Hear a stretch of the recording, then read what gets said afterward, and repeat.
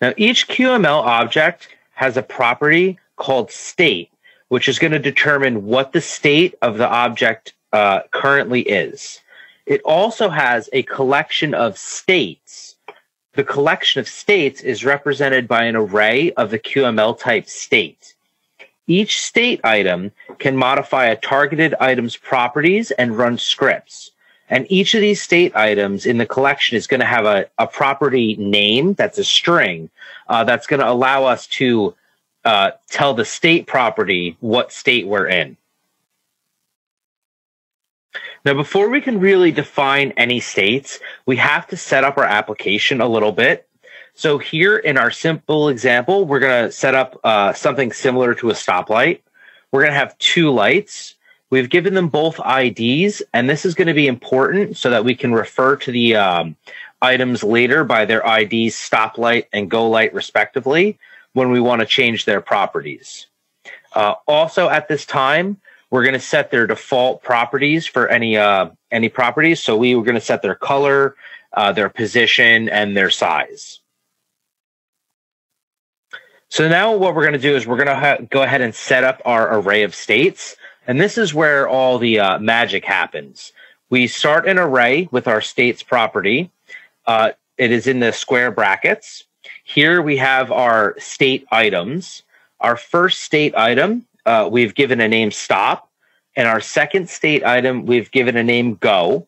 Uh, this is the string that we're going to use to set the state property for our root item later on. Now, the next thing that we're going to do is we're going to add some property changes. States don't do anything if we just define a name. So here we're going to use the QML type property changes. This has uh, two properties here. One, uh, the one property here that we have to set is target.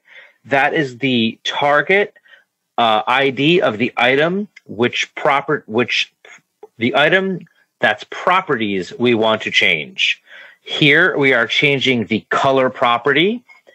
Um, we're only changing one uh, property in our example. However, we could have changed additional properties here, such as the X, Y, height, or almost any other property that our target has. The, uh, the properties that we can't change are going to be the parent and the anchors. If we want to change those, we must use the anchor changes or the parent change item instead of the property changes. Now, continuing on with our example, we've completed both of our states here. So in our stop state, we're going to have two property changes. One is going to target the stoplight, and one is going to target the go light. Uh, the one for the stoplight is going to change the stoplight's color to red, and the one for our uh, go light is going to change its color to black. So when we enter this state, those color properties will be applied to those items. Now, if we look at the other state, we have our go state. Our go state, our stoplight is going to be set to black, and our go light, uh, its color is going to be set to green. Now we have a collection of states, but we have no way to switch between them. Now, as I mentioned earlier, we have a state property that determines what state our item is in. Now, here in this example, we're going to define our default state for our root item by setting it to be bound to stop. Now, a common mistake here that a lot of people make is instead of setting the state property here, they'll try to set the state's property to one of these. This, of course, isn't going to work because the state's property with the, the plural with the S at the end is holding your collection of states. So what we're going to do is we're just going to add a mouse area. Our mouse area is going to fill the parent, which is going to be the uh, root item here. And on clicked, we're just going to see if the state is stopped. We'll change it to go. Otherwise, uh, we're going to change the state to stop.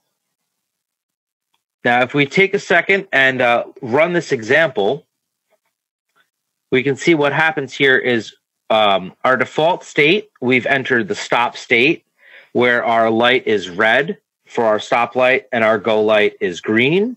And when I click on this, uh, our state will be uh, change to the go state where our go light is now green and our stop light is now black.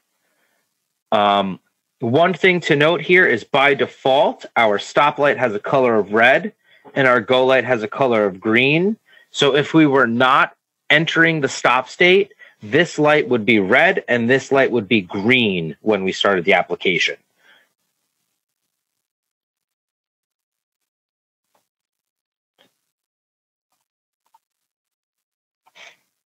Now, this is not the only way that we can uh, tell the slot the states um, how they change. We can let them decide on their own when they should be entered, and this is going to be done by setting the when property of the state, and this property is going to evaluate an expression to see whether or not that state should be active. Now, it's important to know if you're using these whens, it, you can you need to make sure that only one state is active at a time uh, if multiple states in a group evaluate to true, the default properties are going to be applied. So let's also look at an example for how this type works. Here we have our conditional state. What I've done here is uh, we are not entering a state on our item. And our mouse area is given now an ID, and we're accepting uh, button presses here. So when we have the left button pressed, we're going to be in what was our stop state. And when I press the right button on my mouse, we're going to be in what used to be the go state. So if I run this application, we'll see that by default, we're in that state that we didn't name before, where each one of them is lit with their color. Uh, when I press down the left button, we enter what used to be the stop state. When I release that and I push the uh, right mouse button, we're now in the go state. Now, if I hold this down and push the left button as well, you can see that we've entered back to the, uh, the default uh, settings for our properties. So just to reiterate, here's an example of setting up a uh, the state condition for when. We're going to make our item. We're going to give it a mouse area inside of it. Uh, then we're going to go ahead and define a state. Uh, the state, we are going to set a when property. In this case, when our clicked area is pressed. Uh, and then we're going to set our property changes. Uh, for us, we want to make our circle green. Uh, so in this example, we would just target the uh, red circle and set its color to green. Now, just like in the example code that we ran, when we release it, the color is going to go right back to what the default color property was. Thanks for watching. If you want to learn more, please subscribe to our channel and check out the free QML programming course on our website. The link is in the description.